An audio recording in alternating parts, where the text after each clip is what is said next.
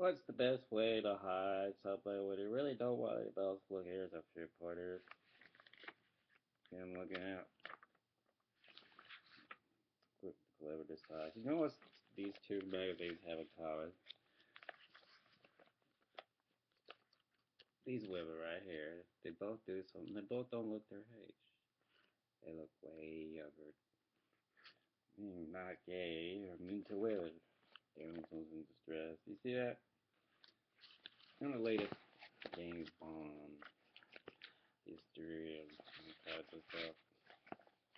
And knowing both uh, ideal women to heart, women they know me, and probably wondering what I look like without no sweater on, as most women.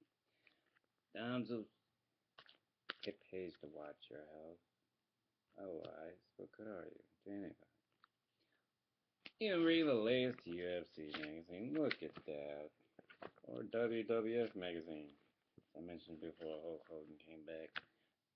He's back stronger than ever. Someone probably placed a cup of coffee on when he be back exactly. Alright, so we're talking about morale support here. I know a lot of you are trying to get over what happened at Fort Hood. Remember what I said, soldiers. You see something, be a friend. Don't just sit there and brush it off, forget about it. Oh, it's not my problem. Oh, it's happening in the other unit. Yeah, that's it.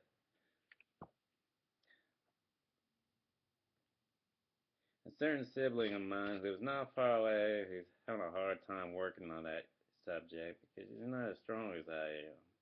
I make a freaking phone call, fudge cakes.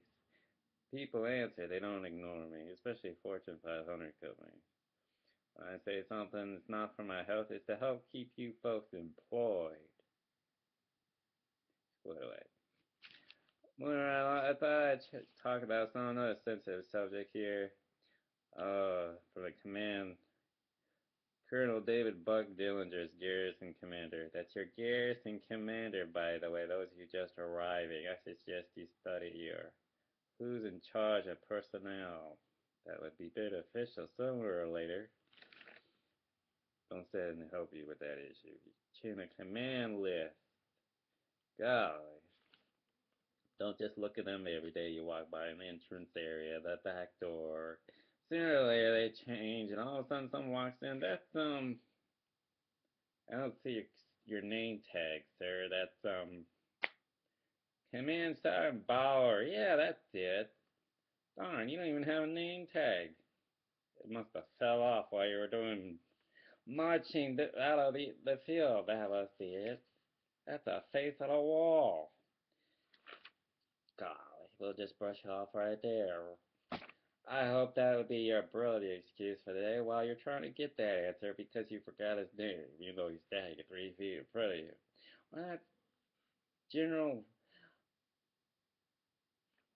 Campbell something. Yeah, that's it. Golly, he's only almost as tall as the convos down around. Holy smokes. Now wouldn't that be a blessed day after inspecting your whole motor pool for the daylight before the weekend came? God. Just to help morale around here. Just stopping by to see how you're doing. Let's see here. Take action, report child abuse, he starts off with. So you know child abuse happens global every five seconds. April and Child Abuse Prevention Month to the Army everywhere. The sun rises in our nation's flag by officially designated April as Child Abuse Prevention Month. The President of the United States is calling on all of us, military and civilian, parents and non-parents, to unite in a common goal to end the abuse of a child children everywhere. I stand with the President and call upon you to make a commitment to this prevention efforts in partnership with Army Community Service Family Advocacy Program here at Fort Campbell. Children are the future of our nation. It is our job to assure that they grow up in a stable and nurturing environment. It is our job to think of them first and keep them safe as parents. Child abuse prevention is non is not a one month assignment. It goes on every day, every year. The Army Ready and Resilient campaign launched to spring 2013 asks community to strengthen resilience, improvement, readiness in order to make our missions HTTP go. You can find it on the website. I'll show it to you in a few seconds. HTTP backspace backspace www.army.mil backspace ready and resilient. Without every one of us doing our part, we cannot say our Army is fully ready to meet the mission of child abuse prevention. As long as Army children suffer from abuse or neglect, we have fallen short of our goals. Therefore, our theme for the Child Abuse Prevention Month this year is simple. Children's safety comes first. Be ready to end child abuse. Are you ready? Then be ready to report child abuse and neglect. Are you resilient? Then you'll be able to help soldiers, DA, civilians, families, and all our children to reach out for support when needed. As Garrison Commander at Fort Campbell, Kentucky, I'm committed to children, children abuse prevention. Our ACS Family Advocacy Program is here to help you as they have helped me for those on base. Contact Fort Campbell ACS FAP at 270-412-5500 to help end child abuse. That's for any military personnel at Fort Campbell or those arriving. Squared away. Keep in mind Like I said, if you see something, say something's better to be a friend, someone offering advice. Hey, I know it's something. Your kid came to school with a black eye. Obviously didn't fall off his bike repeatedly.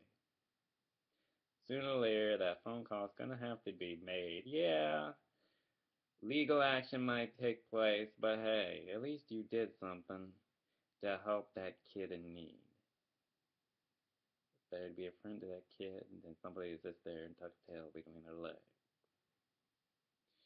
I'd rather be a friend to that kid. Hey, you're not a beating bag, you're not a punching bag, and sure as heck ain't someone to blame for having a bad day at work. That's from a dad. That's myself. If you see anybody doing anything domestically violent, you need to have make a phone call and get them arrested. My family won't tolerate them. I sure as heck won't tolerate it, even toward women. Not even at a club. I'll be the first one to say, hey, this isn't the right way to go here. I appreciate you hitting that woman. Drunk or not.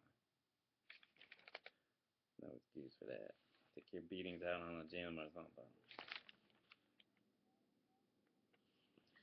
Well, program officer for support to wounded warriors. And you know, one of the many foundation organizations I support is Wounded Warriors. The U.S. Army released today, the U.S. Army Wounded Warrior Program is a major command component of the Army's Warrior Care and Transition Program. It is a dedicated program to provide personalized support to severely wounded, injured, and ill soldiers and their families wherever they are located.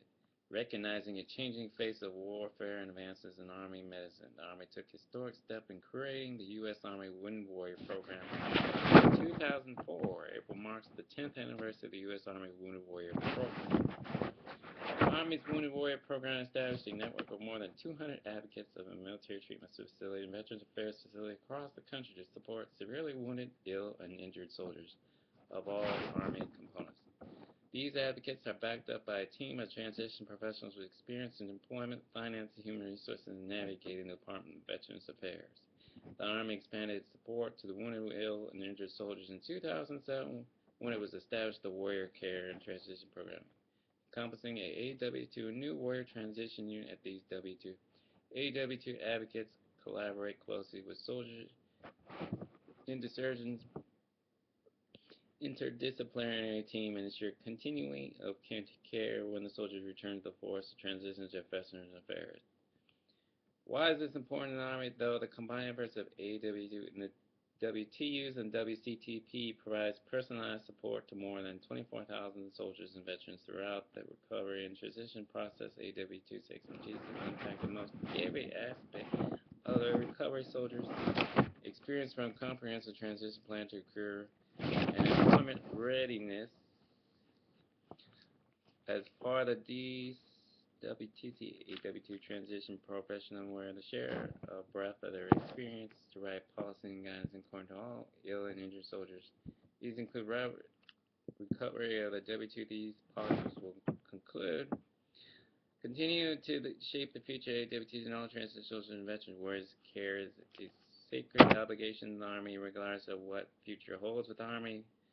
Drawing down this mission will remain among the AW2 with continue to provide find smarter, more effective ways to provide the best of everything support continuum of care to each soldier and veterans. Also, chaplain's area, for those of you who didn't read the paper this last week, by chapter Lieutenant Colonel Jeffrey Botsford, installation pastor coordinator. Dr. Karl Menninger, the famous psychologist, stated that if we could convenience patients in a mental health hospital that their sins are forgiven, 75% of them would walk out the next day.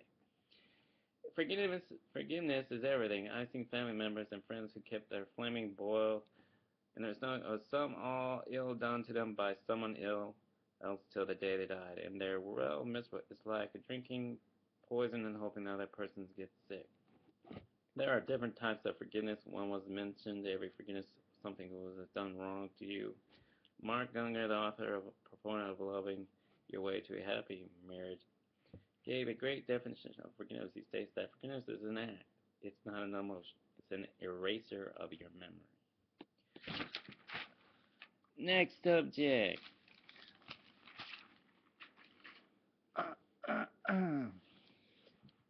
Continue on. Military Life Muppet Style. Show returns to educate entertain Fort Campbell families. Do you know the Muppets are coming to now, the town here at Fort Campbell? Kelly Sinner tells Grover, Elmo, Cookie Monster, Hunker, Rosita that she has to move away from Sesame Street during a performance for service members and their children during a Sesame Street USO Experience for Military Families performance in 2012. The show returns at Fort Campbell this year. Tickets are free for soldiers and military families. However, tickets must be picked up in advance below Elmo greets military children during a 2012 tour stop at Scotts Air Force Base in Illinois. The Sesame Street USO experience for military families to help preschool age children better understand the necessary for moving. Getting a fun, engaging 30 minute performance filled with dancing and music. How about that? For somebody who was wearing a USO volunteering shirt on his Facebook, supporting the USO. How about that, ladies and gentlemen? Considering the amount of critiquing ridicule I've gotten, for trying to help folks who enjoy making that organization look bad. Even helping making fun of those who worked for them or did go there. Tap that lady on the back when you get a chance, alright? Because it's not it's not gonna be very long until Jake or somebody else gets a hold of her to help her understand the highlights of being fired. Keep up the good work. You know who you are.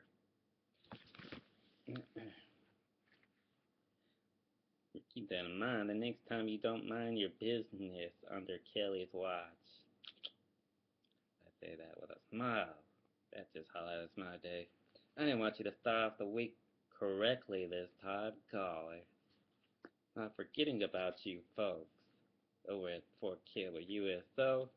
Nearly 45 years the Street now does more than just prepare the children education for kindergarten. It focuses on other lifelong lessons such as friendship, sharing, and heavily bullying with this again, bullying and hazing.